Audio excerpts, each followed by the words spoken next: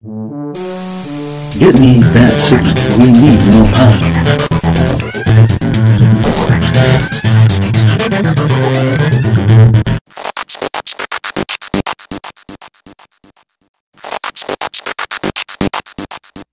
Hello, and welcome to another episode of Dr. E's Laboratory. Today on our show, we'll be looking at the game Think Again from Iello Games. and so to help us with our attempt to think again, I brought along this extra brain. As you can see, I've wired this brain up to a speaker using highly complex medical technology just to demonstrate the principles of think again. Let's get this brain up and speaking, shall we? Hello? Hello, brain. Can you hear me? Can you hear me, brain? Hello? Who is this? Where am I? Hello, brain. This is Dr. E. I've brought you along to talk about a new game from Iello Games. Doctor Who? Where is my regular doctor? How did my surgery go? No, it's Dr. E. And not too good, I'm afraid, Brain. But that's all in the past. You are here to assist me in talking about this new game. Are you saying that you brought my brain back to life to talk about a game? Are you mad? Yes, well, I am a mad scientist, so I am in fact mad. Technically, you are not alive. Uh, I am simply using this brain as a conduit for channeling your essence from the ether. You are more of a generic being, uh, and with a small adjustment, I can modulate your voice into someone else entirely. Uh, for example, try talking now. Uh, how do I sound now, Doc? I, I, I'm feeling all shook up. Wait, wait, one more. Try talking now. Thank you, Doctor. This is wonderful. And now back to regular brain. Fine. Great. If you're done goofing around, I suppose we should get on with this game. Right, exactly. Let me tell you how it works. Think Again is a trivia type game with a twist, designed by Bruno Cathala and Ludovic Maublanc. It comes in this little box here with one of those neat little magnetic closure flaps, and inside is a deck of 50 question cards with six questions on each one. There's an additional six cards with rules on them, and the rules are fairly simple. It's designed for 3 to 10 players and takes maybe 20 minutes to play. So in this game, you earn points by giving correct answers. But these are not necessarily the right answers. It depends on what is called for. Let me explain. First, you shuffle all the cards, shuffle, shuffle, shuffle, shuffle, shuffle, shuffle, and choose a reader. It doesn't matter who gets to read first because everyone gets a turn to be the reader.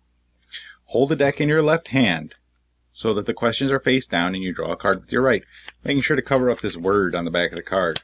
Okay, you don't want to confuse people there. And then you read a question of your choice from the card. The Vatican is located in which Italian city? Okay? When you're finished reading the question, you move your left hand up showing the back of the next card. That's this card. So you show that to everybody, and it says the word right. So, the first player to shout out the right answer gets the point. Now, it's really the first person to speak. You take their answer, and if the card says right, they have to give the right answer. If it says wrong, then they have to give a similar but wrong answer. If they do this correctly, they get one point, and they get to keep the card to show that they get a point. I see you're confused. Wait, not you. That's the other guy who was only half listening. Let's say I read the question, What color are the Smurfs? And I hold up a card that says right on it. The first player to shout out blue gets a point. If they shout out anything else, they lose a point.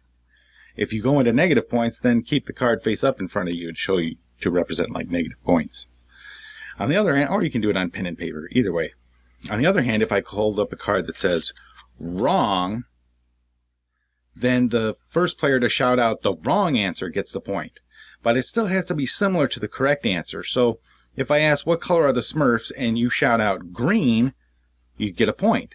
But if you shout out Luke Skywalker or blue, then minus one point for you. I must stress that the answer from the first person who speaks is the one who counts. Nobody else's does. The question reader chooses who spoke first in the event of a tie. Now, to add a little bit of complication to the game, the cards will either show the word right, or a smart guy, or a green circle if you're supposed to give the right answer, like that. Okay, if you're supposed to give the wrong answer, it'll either say wrong, or it'll have this red square, or it'll have this dude wearing a dunce cap. Okay, so basically, you just go around the table once reading the questions, and the person with the most points at the end of that wins. As an added bonus, some of the words, some of the questions have answers written in blue. And this means they're fake questions, like this one here. Uh, pizza delivery usually takes how many months? So that's like an absurd question. In this case, the correct answer is think again. The first player who says this gets a point. Additionally, there's rules for playing in groups, where the players pair off in teams of two and you play for three rounds. Don't worry, there are rules for odd numbers of players. And that is how you play Think Again. It's really an interesting twist trying to shout out the wrong answer rather than the right one. You'll find most younger kids just like shouting out the right answer, and will frequently lose because of this. so you might want to keep it away from the younger ones. However, teens and adults will get a kick out of it. There's enough here to have a really good time at any family function or dinner party that you happen to be giving. I never get invited. Probably the same way you play werewolf. Uh, the, the people would be a good fit, don't you think? Don't you? You can have too many people, and then it gets hard to tell who spoke first. Then anger and harsh words might result. In this case, keep a die with you. And if there's a tie, simply roll a die to determine who spoke first. Then you will have no hard feelings. Think Again is inexpensive and gives a fun twist to the normal boring trivia games that people bring out. It's small enough to carry anywhere. So if you enjoy this type of game, then Think Again might be the game for you. Thanks for joining me for this review of Think Again from Iello Games. Let me... Oh no, the hounds! They've released the hounds! Let me know if you found this review helpful by sending me an email at elliot.scomuller at.